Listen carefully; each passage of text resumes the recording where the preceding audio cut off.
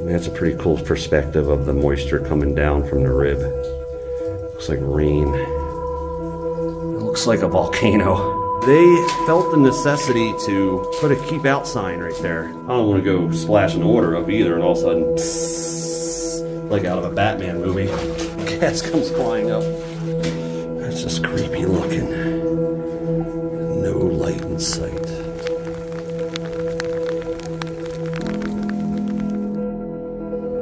Well, hey everybody, we're back at that sketchy, sketchy mine somewhere in New Mexico where some unusual things happened in the past the last time I was here. This is probably gonna be the last time I'm gonna visit this mine too because it's just really, really dangerous. So we're gonna figure out where this mine goes.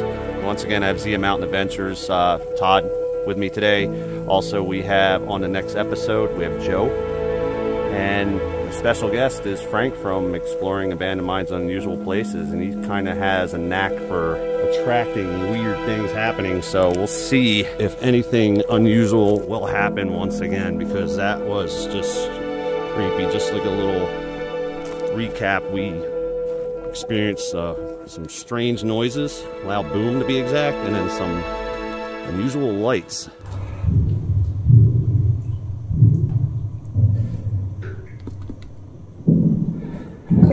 Hello? That is friggin' creepy. Man, it looks like they had a pump here to suck out the water. I can see your light! Wait, he's not even there. What the heck was that?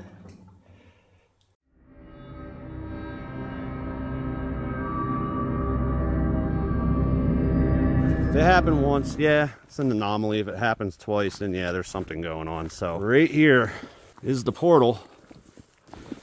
And just look at this tree.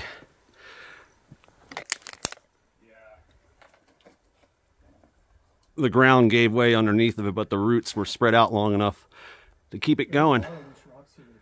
It's alive still. So that's a bit of an ominous scene right there.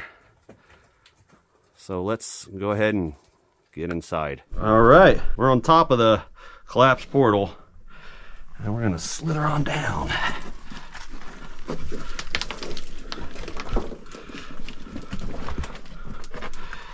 Oh yeah. And the light is, that was the ventilation. Fresh air through the mine. I can extend it all the way through the workings. And there's Justin. He's right in front of us, so Yes, sir. We gotta um, go up. This collapse, we have to go up that way to the right. Yeah, there's Frank. The bad end of Frank.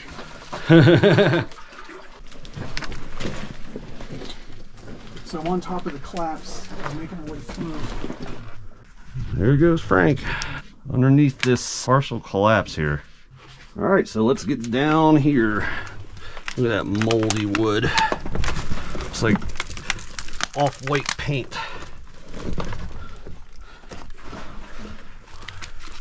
Yeah, buddy.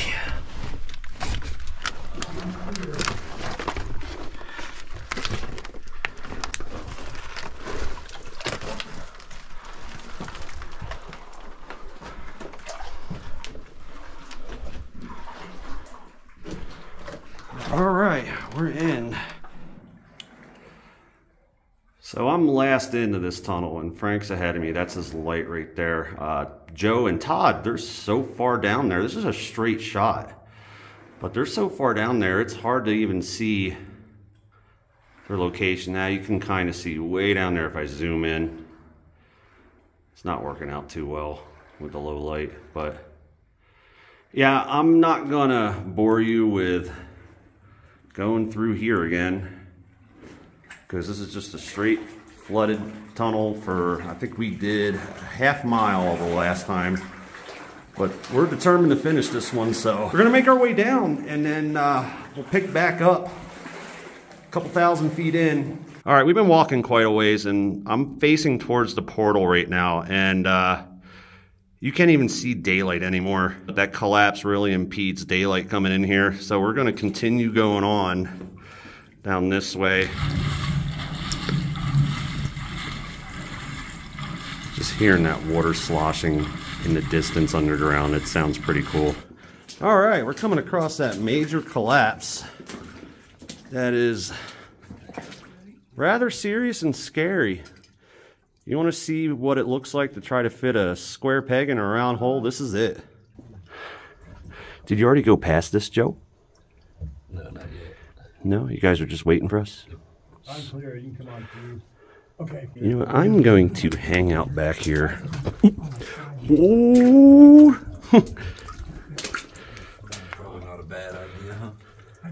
It's not. So while we're waiting our turn to go through that tiny little hole, let's just look at this a little bit more and inspect it. Why did they do that? Does anybody know? Looks like they just cut some grooves in there. Maybe I do know that this track is definitely well, that's a bad picture, but you know, it's definitely thicker than ore cart tracks. It almost looks like railroad tracks. So they probably had a bigger mine train going through here, but we're gonna see Joe make this look easy.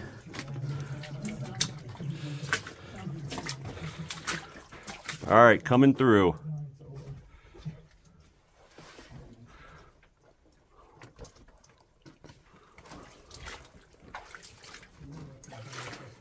Yeah, this is scary. Things we do to satisfy curiosity. All right, he's through. My turn.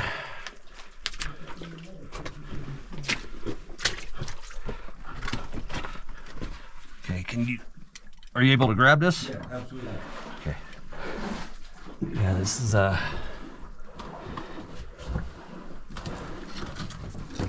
Thank you, sir. Let's get through.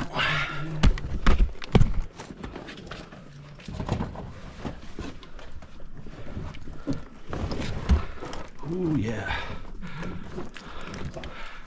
Wow, look at that flowstone. It's like a little popcorn forming too. Thank you, sir.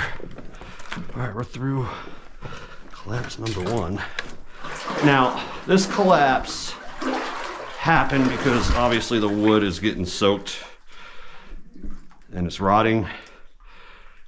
And there's unstable rock, but it looks like it just sloughed off maybe about six feet from the cap where the you know the posts were and it just crushed it. Now if this was to collapse again we can probably still get out. I really don't want it, that to happen but you know that's why we went through this is because it's a calculated risk. And we took it and you know if that did fail this would come down but that would still leave us enough clearance to walk over it and go past it. So now that everybody's through let's go through this other one.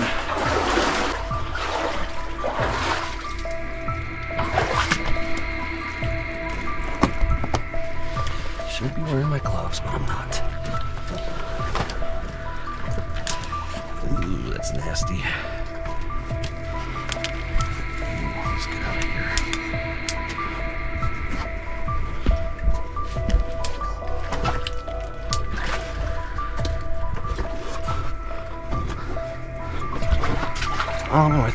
worse than the last one.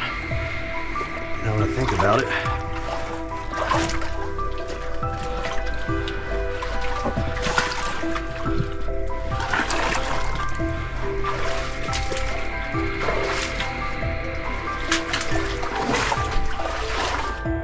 All right, I have returned to this junction. And my buddies are going down that way. That hair raising noise that I heard came down that way. And then looking back, the portal is beyond several collapses back that way. We're probably about a good 2,500 feet in. But up ahead, we're gonna keep going straight first. Let's watch our step. It's acting like an artesian well. It looks like there's some flow. That's that. Yeah, the ghosts are shy on this one, Frank. I thought you were gonna bring them out. All right, so we just came from over there.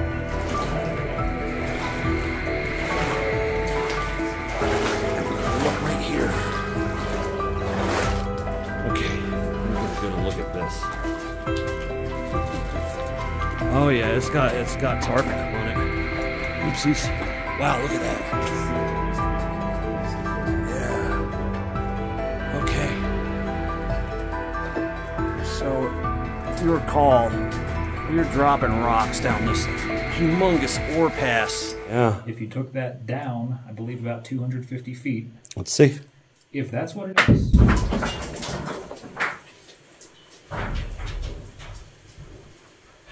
That's it. Okay, that's the connection. Yeah. Ooh. Whoa, it hit water. Yeah, it's got to be it. Yep, we found it. Yeah, so 300 feet up is the connection to New Mexico's largest abandoned mine. We're underneath of it from a canyon. We're over by what one canyon? Yes, sir. We went underneath an entire mountain to get to this one spot, and it looks like they drove this tunnel just for that reason. And get the ore out, maybe this was the name of the haulage tunnel. Yeah, that's exactly what it was. This way, It's uh, from those workings that are up there. yeah, let gravity do the work. So, continuing along, I also think that this is a a water supply for that mine above us. So we're gonna follow this this tube and this wire, see where it goes. All right, just came from that way. The boys are still hanging out down there, and I'm gonna follow this tube this twisted multicolored wire down here. See where it goes.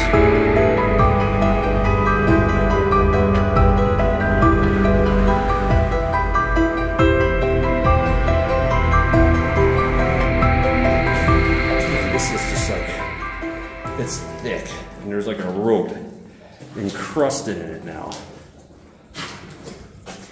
But that's weird. So the pipe now bends up where it's off the ground,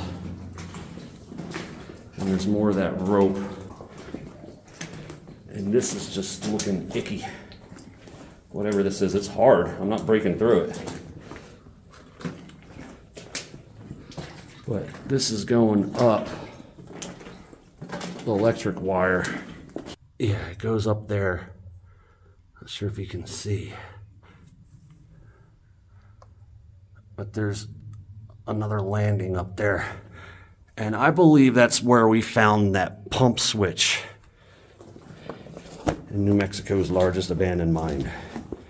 This is kind of interesting, I think. It looks like a volcano. It's like these mineral deposits from the water dripping down is just leaving this stuff. I'm not going to touch it because it's probably real fragile. But you can see in the middle there's like a crater, just like a volcano. And uh, all that orange goop, it looks like lava coming down. So I thought that's pretty cool. Right ahead, there's another junction.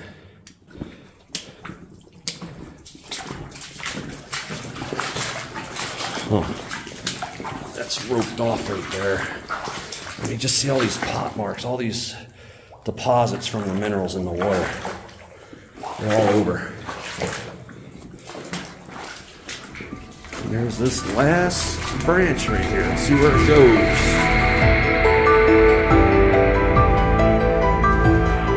So, Frank's coming with a shiny new H2S meter. I only have an O2 meter, but he has both an H2S and an O2 meter.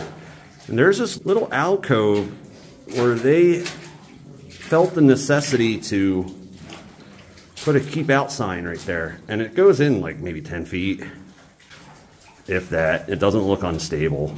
Is there a shaft going up in the ceiling? It, it doesn't look like it. You know, I'm just going to go through it since you're. No, it just stops. But why? Is there a shaft in the floor? It doesn't look like it. It just look, yeah. They must have encountered something here. So, I don't want to go splashing order up either, and all of a sudden, psst, like out of a Batman movie, Cats comes flying up. But we're getting into some really, really dark, dark territory here. Isn't that appropriate? Abandoned. Keep out. Yeah, but you notice the abandon's misspelled? Abandoned. Normally when I'm walking through the mine and I'm not filming, I have my light at this level. When I'm filming, I have them pretty high, like this. And it's just swallowing up all the light. So I'm gonna go underneath this log flume ride carefully. And this is a newer operation. They got steel posts. Of course, they still have timber lagging and some of them are bowing. You can really see some pronounced bowing. It is wet in here, definitely. But the stuff, it's like this black shale, it looks like. And they see this orange goop. That's like the real color. It's like neon orange. But this rock, I'm gonna keep it down here.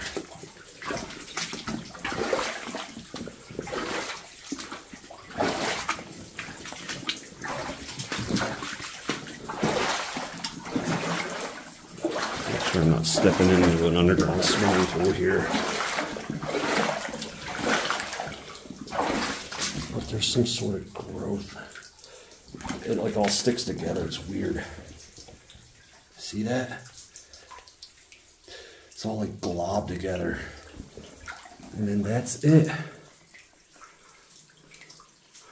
That's the end. And it goes up there. Okay, now we know. But this is some dark, dark stuff. And then just the, I'm assuming that's iron oxide just leaching out into the water from the split bolts being installed in here. And it's just bunching up. But you can see just some flowstone action in here. It's actually forming stalactites on the, the netting. It's pretty neat. So yeah, I'm gonna head back. We're gonna make our way out of this. This is done. I am satisfied. We are finished with this mine. And we're gonna go on and check out some more interesting places around here. So thanks for sticking it out and uh, watching till the end. On to the next video.